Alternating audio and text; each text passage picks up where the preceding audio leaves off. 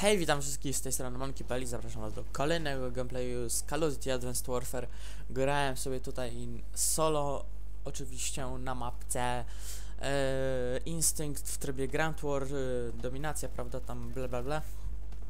E, wszystko widzicie na, map, e, na ekranie swoich. I chciałem tutaj poruszyć temat taki może dziwny, albo taki może poważniejszy bardziej, ale zanim to zrobię, chciałbym się was spytać, e, jak wam minęły święta, czy spędziliście, prawda, w rodzinnym gronie, czy dostawaliście, dostaliście swoje tam prezenty, jakie żeście chcieli.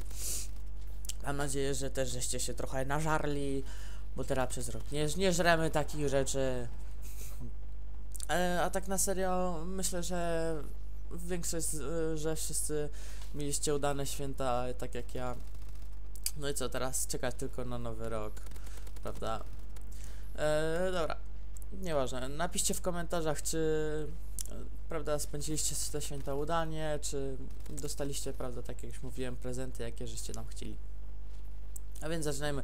E, chciałem w tym komentarzu poruszyć, e, tak jak już mówiłem, taki bardziej poważny temat. E, bo jak wiecie, albo i też nie, ostatnio zaginął już drugi e, ten cały malezyjski samolot, prawda? I może się nie interesujecie tym za bardzo, więc jeśli ktoś nie chce tego słuchać, to może wyłączyć od razu. Ale chciałem poruszyć po prostu ten temat, bo według mnie e, jest to coś dziwnego, że już, no nie wiem jaki to odstęp czasu był, 3 miesiące, 2 miesiące bodajże? Nie, więcej chyba. 3-4 miesiące e, temu e, kole, e, pierwszy samolot zaginął właśnie malezyjski. E, I powiem wam, że to naprawdę jest coś dziwnego, nie wiem, czy to jakieś, e, nie wiem, terroryści, prawda, bo to wszystko możliwe jest, ten świat jest tak teraz chory, że no, nie wiadomo czego się tak naprawdę można spodziewać, można wyjść i za rogiem może się czaić jakieś niebezpieczeństwo. Niestety tak, tak już jest e, w, e, na tym świecie. Nie wiem, czy to też, nie wiem, może ktoś go zestrzelił, prawda? Przypuszczajmy na przykład, nie wiem, zielone ufolutki, no nie wiem, nie, nie zielone, ale że UFO niby. Też jest wszystko prawdopodobne, nie wiadomo, czy w kosmosie e, jesteśmy sami, czy też nie. Szczerze mówiąc, wam, e, powiem wam, że też mnie trochę interesuje kosmos, bo e, jest to ciekawe miejsce dosyć, e, bo powiem wam, że sp- sprawia on, skrywa on wiele tajemnic tak naprawdę przed, e, przed ludzkością, których tak naprawdę jeszcze nie mamy odpowiedzi, a pe na pewno w jakimś odstępie czasu, dłuższym bądź krótszym, e, z czasem te tajemnice będą się otwierać przed nami. Ha, kurde, jak, jak tekst z filmu. e, dobra. Więc mówię, jest to dla mnie strasznie dziwne, że ginie kolejny malezyjski samolot e, nad tym Morzem Jawańskim bodajże, tak? Się, bodajże tak to się nazywało. E, dobra. A drugi, te, e, napiszcie mi też w komentarzach, co wy na ten temat uważacie.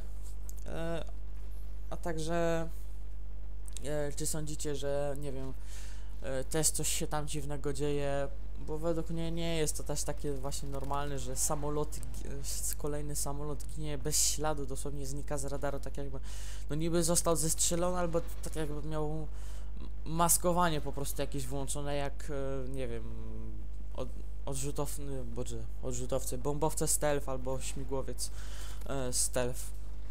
Jest to strasznie dziwne, po prostu jego na radarze też nie widać.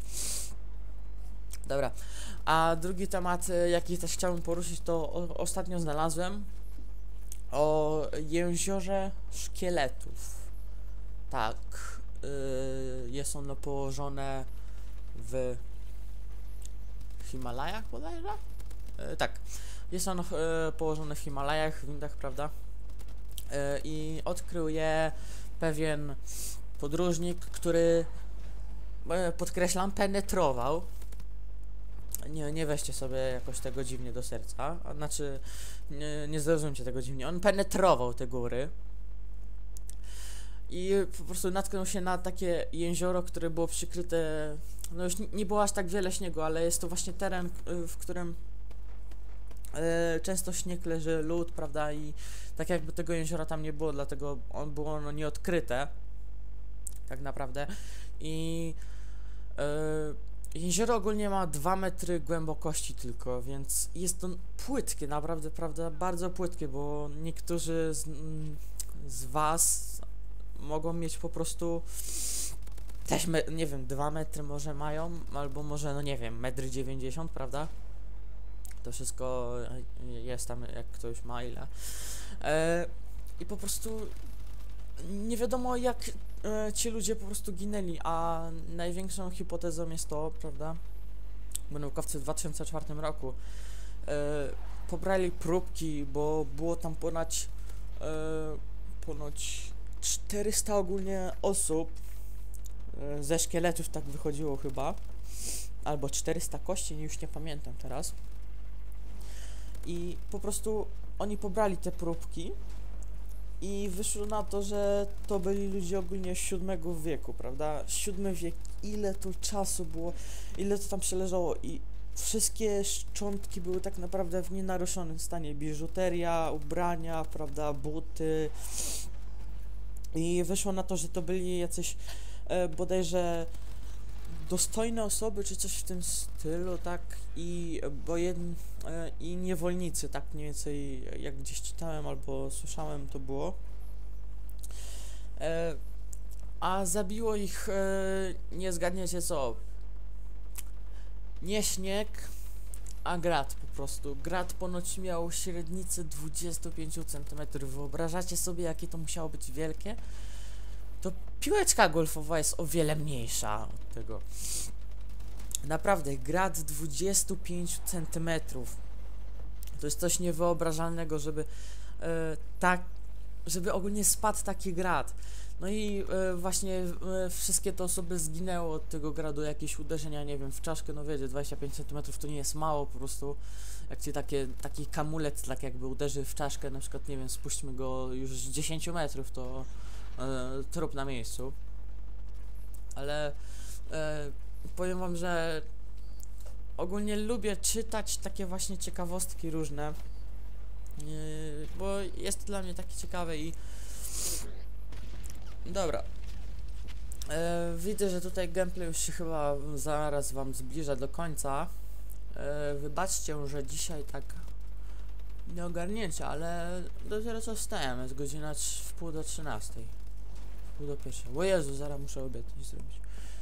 Dobra, ja się z wami kończę, zapraszam was do oceny i subskrypcji. Na razie, cześć, ją.